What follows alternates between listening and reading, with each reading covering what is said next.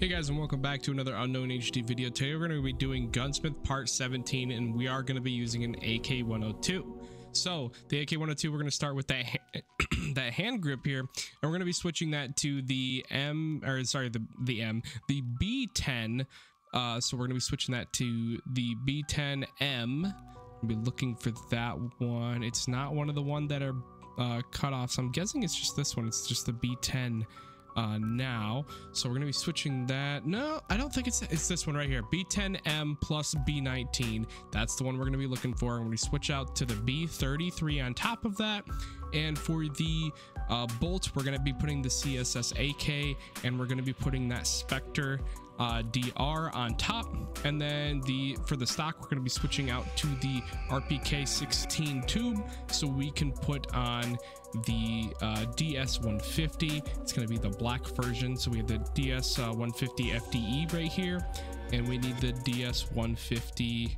Uh, where is it? Uh, da, da, da, right here, just the normal DS50. Oh, sorry, 150. And then following that, we're going to be putting on the saw uh, for the hand grip and changing out that magazine to the C10 AK and the hand grip are switching to the olive uh, AFG, so the o AFG OD. And then we're going to be doing the CQ B556 because this gun does shoot 556 but in order to do that we actually have to put on the CNC war right here the adapter and then we can put on the C uh, which is kind of a really thick uh, cylinder. Uh, where is that? So we're going to be looking for that CQB 556 and it looks like it's going to be right here. The really thick option you're going to put on it as well is the uh, for fans right here.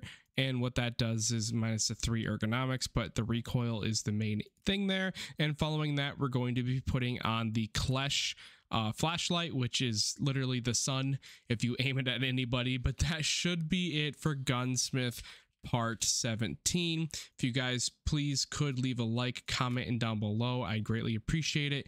Support my channel. I do always appreciate everything that you guys do for me to help me in my process here. But it looks like we're going to be able to buy this stuff as much as we can off the market. We're going to be missing the RPK tube and the flashlight. So if we go back here and find the RPK tube, and then we're going to buy the flashlight as well. And then we should be all set to go. Hit assemble, make sure there's nothing in the magazine uh, or in the chamber. And then if you go to uh, mechanic, tasks, gunsmith part 17, turn in, you should be all set to go. So thank you guys for watching and I'll see you guys in the next video.